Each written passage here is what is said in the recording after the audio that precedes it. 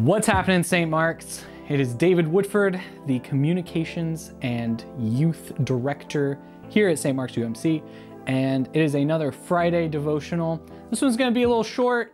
I don't know, sometimes I ramble a little bit, but hopefully we'll keep this one short because it's a holiday weekend.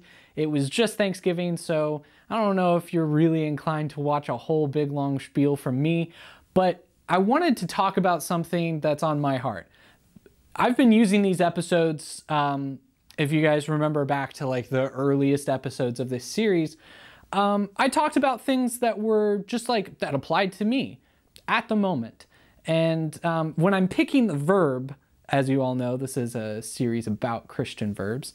As I pick the verb from week to week, I will sometimes pick a verb that I think resonates more with me that week than maybe with another week. Last week we did thankfulness, thanksgiving, giving thanks. Um, it was appropriate because uh, it is going to be Thanksgiving. Um, and now we're after Thanksgiving. I'm recording this before Thanksgiving, but we are now in the holiday season, right? The holiday season is weird. Uh, this uh, this particular season, it's odd, and I think that whenever we approach the winter holiday season, it comes in uh, it comes in three waves. Obviously, it's Thanksgiving, Christmas, and then New Year's.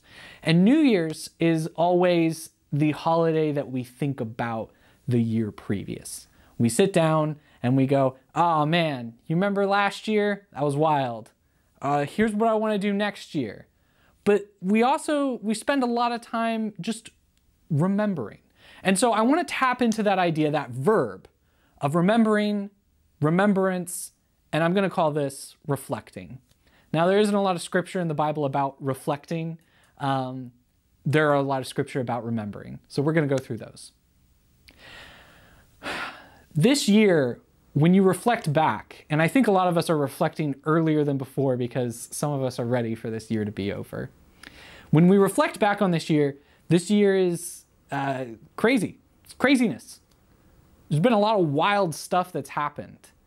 And it's important for us to look at where we started and where we are now. When we first started this year, uh, in you know in January, I did not do this. We were not having this conversation. There was no Friday devotional with Dave. We didn't have online services pretty much at all. Um, now, obviously, these things were necessitated, but it's also a significant step forward for St. Mark's. And it's something we're going to continue doing uh, long into the future, hopefully. So that's a positive step forward. That's something, that's a stride that we've made as a community. Furthermore, when we talk about remembrance or reflecting, oftentimes we're critical of ourselves. And I think that sometimes we can be too critical. The year has been difficult, and I think it's appropriate that we consider the adversarial aspects of this year that we've overcome. And that's what I want to focus on. So, before I read the scripture, my main emphasis is just let's work on letting go. Let's reflect on this year and let's work on moving forward. To help us in that process, though, we have to reflect. Um, so in Deuteronomy chapter 32, it says this Do you thus repay the Lord, you foolish and senseless people? He's talking to the Israelites. He says, It is not He, your Father, who created you. Is it not? He, your Father, who created you, who made and established you. Remember the days of old.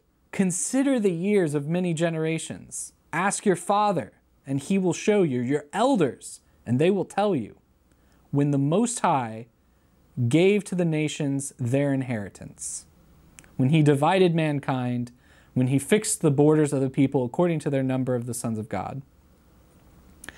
And what this is talking about, this particular section in Deuteronomy, is talking about um, remembering and reflecting. But specifically, it's asking the elders of your tribe to remind you what God has done, to give you evidence of God's power. So, part of remembering and reflecting is to interact with your community and to reminisce collectively and say, when was God here? When was He present? I think that this is an important aspect of worship and it's an important aspect of community. So, when you gather, when you're able to gather, and when you feel it's appropriate to gather, this holiday season, I don't want to sound like a movie trailer, this holiday season, but this holiday season, when you gather, collectively talk about what God did in this year. Deuteronomy says it perfectly. Ask your elders and they will tell you. So, young people, talk to the elders and say, Where was God? Not just this year, but in years past.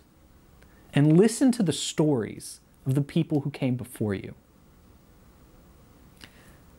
This year, at the end, let's reflect and think about where God was. Thank you for joining me this Friday, and I'll see you next week.